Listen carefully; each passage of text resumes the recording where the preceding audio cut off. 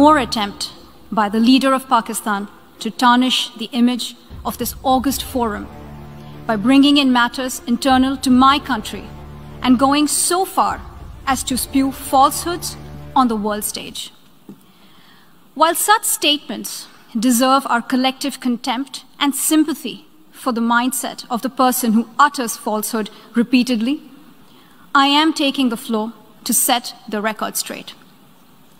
Regrettably, this is not the first time the leader of Pakistan has misused platforms provided by the UN to propagate false and malicious propaganda against my country, and seeking in vain to divert the world's attention from the sad state of his country, where terrorists enjoy free pass while the lives of ordinary people, especially those belonging to the minority communities, are turned upside down.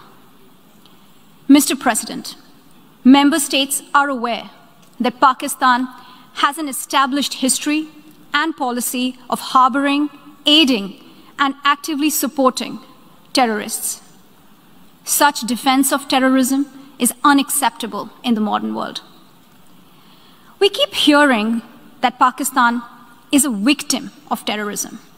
This is the country which is an arsonist disguising itself as a firefighter. Pakistan nurtures terrorists in their backyard in the hope that they will only harm their neighbors. My delegation is exercising its right of reply in response to the statement made by the Indian representative. Jammu and Kashmir neither is a so called integral part of India, nor is it India's internal matter. India remains in occupation of an internationally recognized disputed territory whose final disposition needs to be decided in accordance with the democratic principle of a free and impartial plebiscite under the United Nations auspices as provided for under numerous resolutions of the Security Council. In order to divert attention from ever increasing international condemnation of India's widespread and escalating human rights abuses in Indian illegally occupied Jammu and Kashmir, India continues to level baseless allegations and rely on outright lie and obfuscation. India's compulsive obsession with Pakistan is neither new nor surprising. It has permeated its ruling elite and governance structures. But there is a method to this obsession as it underpins India's electoral and foreign policy under the ruling RSS BJP Hindutva inspired government. The EU Disinfo Lab has graphically revealed how India has deployed such tools of deflection, deception, and disinformation against my country, including at the United Nations. Mr. President, India's violation of human rights in Indian occupied Jammu and Kashmir are well documented in the two reports of the High Commissioner for Human Rights. Since 5 August 2019, the High Commissioner has urged India to unlock the situation and fully restore the rights that are currently being denied to the people of the occupied territory. Several special rapporteurs and mandate holders have also termed the human rights situation in Indian illegally occupied Jammu and Kashmir in a quote, free fall, unquote. Major human rights organizations, including Human Rights Watch and Amnesty International, have expressed similar serious concerns about India's human rights violation, including in the occupied territory. Not surprisingly, Indian authorities have failed to respond to any of these communications. In fact, a witch hunt has been launched against those who dare to report these crimes. Only last year, Amnesty International ceased work in India, citing constant harassment at the hands of the government. The government of Pakistan has recently released a comprehensive and well researched dossier containing the entire range of gross, systematic, and widespread violations of human rights being perpetrated by Indian security forces in the occupied territory. We call upon the international community to take cognizance of the compelling evidence and hold India accountable for the heinous crimes. If India has nothing to hide, it must accept a United Nations Commission of Inquiry and agree to implement the Security Council resolutions stipulating a plebiscite to enable the people of Jammu and Kashmir to exercise their right to self-determination. Mr. President, as for India's use of the canard of terrorism, regurgitating stale arguments that are typical of all occupiers, let me emphasize that India itself is the principal perpetrator, sponsor, financer, and abettor of terrorism in the region. Today, India is involved in at least four different types of terrorism. First, India is resorting to state terrorism to suppress the people of Indian illegally occupied Jammu and Kashmir.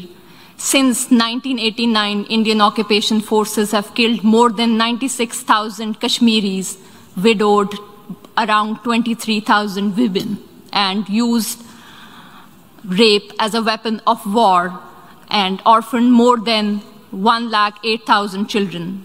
Second, it is funding and supporting terrorist organizations like the TTP, which are involved in numerous cross-border terrorist attacks against Pakistani military and civilian targets. Over the last decade, thousands of Pakistanis have lost their lives or have been injured as a result of these Indian sponsored terrorist attacks. Pakistan has shared irrefutable evidence of Indian involvement in supporting and sponsoring terrorism with the international community. Third, India is financing and organizing mercenary terrorist organizations against Pakistan to impede economic growth and prosperity of the region. India's National Security Advisor, Mr. Ajit Doval, has publicly admitted supporting and financing of such mercenaries. The captured Indian spy, Kulbhushan Jadhav, has also confessed to organizing such terrorism in Pakistan. Fourth, India is being guided by a supremacist ideology that has mainstreamed Islamophobia and bigotry against minorities, particularly Muslims, in its political discourse. The RSS is one of the oldest fascist movements in the world, enjoys state protection, patronage, and support by BJP the ruling party in India. It was RSS which was responsible for pogrom in Gujarat in 2002, which killed over 2,000 innocent Muslim children, women, and men. These anti Muslim pogroms were later repeated in Mumbai and Delhi. One cannot expect anything new from the purveyor of Hindutva. In today's incredibly intolerant India, the 200 million strong Muslim minority faces frequent lynching by cow vigilantes, pogroms by RSS thugs with official complicity, discriminatory citizenship laws to disenfranchise Muslims, and a concerted campaign to destroy mosques and the rich Muslim heritage of India. Mr. President, for the edifice of fascism is in an advanced stage of construction in India today. The Hindutva order of the ruling party has created an atmosphere of fear among all minorities, including Muslims, Christians, Sikhs, and Dalits.